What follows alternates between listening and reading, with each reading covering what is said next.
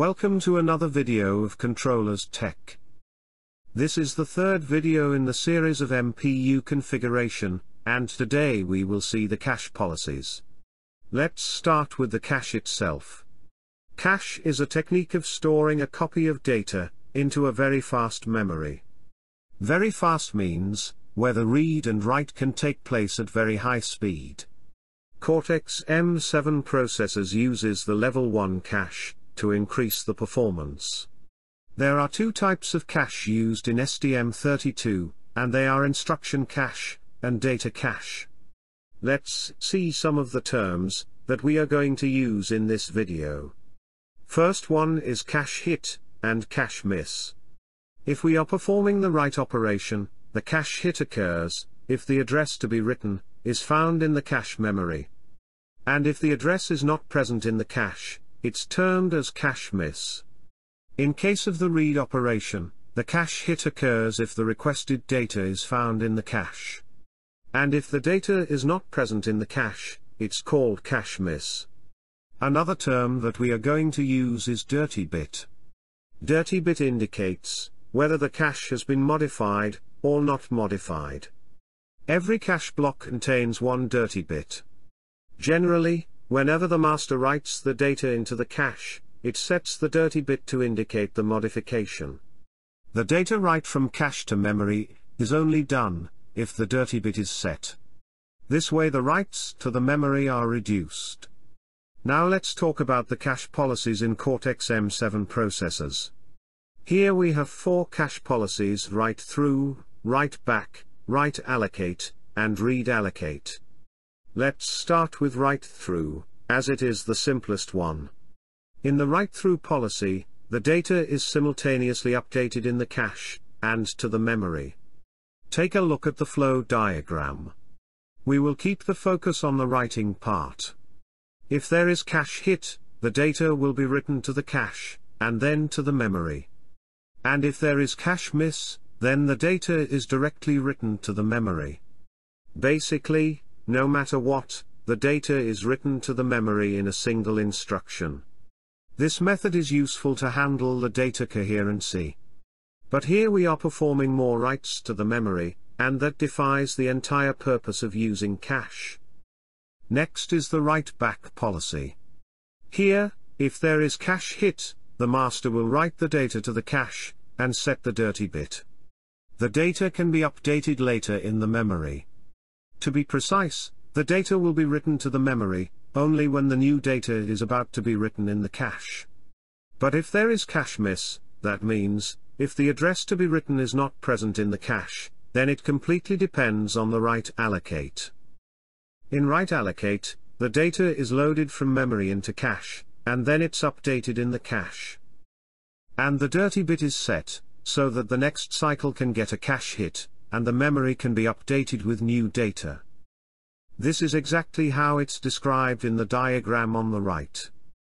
In case of the cache hit, the data is written to the cache, and the dirty bit is updated. In case of the miss, it will first locate some cache block, which can be used for this purpose. If the block is already dirty, the previous data will be written to its respective memory, and then it proceeds further with copying data from memory to this cache. But if the block is not dirty, it will copy the data from the memory to this cache. Then the data is updated in the cache, and the dirty bit is set, so that the next cycle will update the data to the memory. In STM32, the write back policy is mostly used with write allocate. Next is the read allocate. Every cacheable location in Cortex-M7 is read allocate. In case of the cache miss, the cache lines are allocated for that particular data, so the next access to cache will be a hit. Here is the picture from ST's document about the policies used in STM32 Cortex-M7. We have write through with no write allocate. In case of the hit, the data will be updated in the cache, and the memory. But in case of miss, the data will be updated in the memory, and that memory block will not be copied into the cache, since this is no write allocate. Then there is write back with no write allocate. In case of the hit, the cache will be written, and the dirty bit will be set. The main memory is not updated instantly, that's how the write back works. In case of miss, the data will be updated in the memory, and that memory block will not be copied into the cache, since this is no write allocate. The last one is write back with write and read allocate.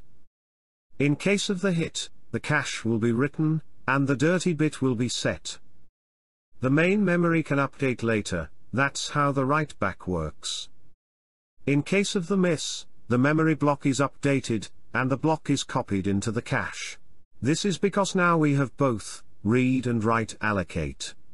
Here is the cache policies for the memory locations. Remember that every cacheable region is read allocate by default.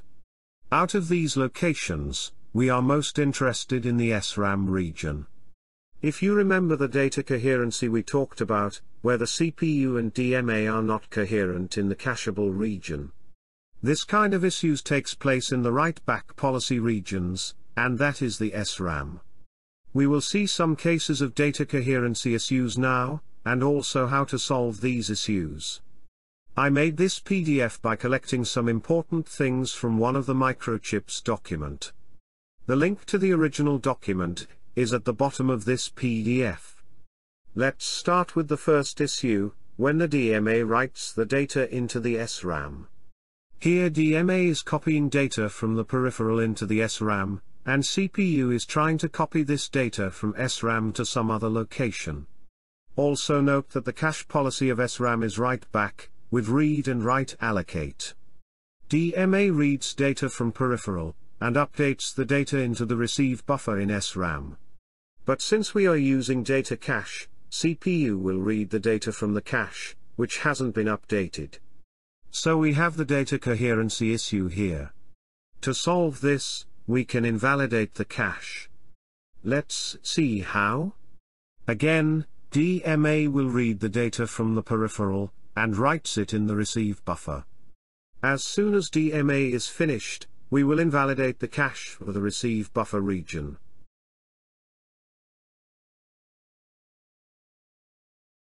Now when CPU tries to access the cache, it's not available, so there will be a cache miss.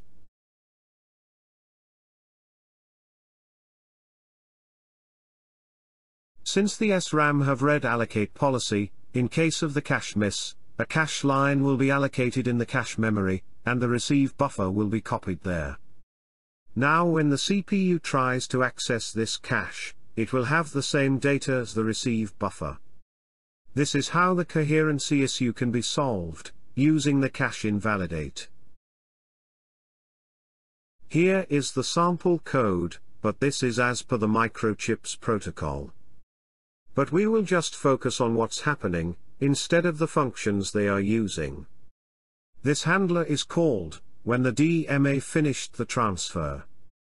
We have transfer complete callback for that. Inside the handler, we have to invalidate the cache by address.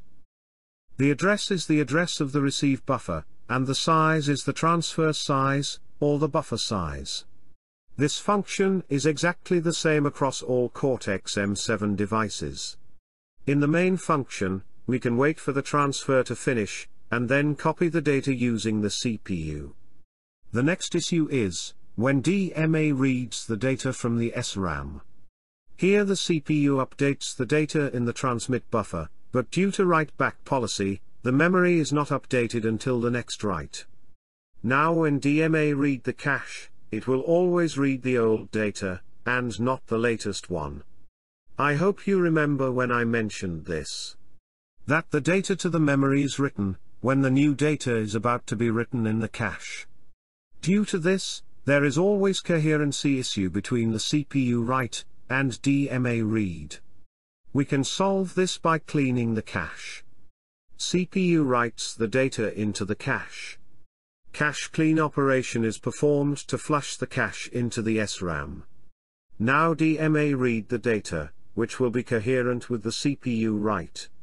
This is the sample program.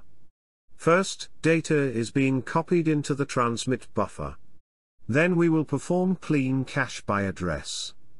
and finally enable the DMA transfer. This way the DMA can read the latest data from the transmit buffer, and the coherency issue can be solved. So we saw, we can use cache invalidate, and cache clean to solve the data coherency issues. We can also just make the region non-cacheable through the MPU configuration, and it will work just fine. I will show this entire coherency issue in the next video, where we will see some practical usage of MPU. Here is the link to the source document. You can read it for more detailed explanation. This is it for this video. You can download the files from the link in the description. Keep watching, and have a nice day ahead.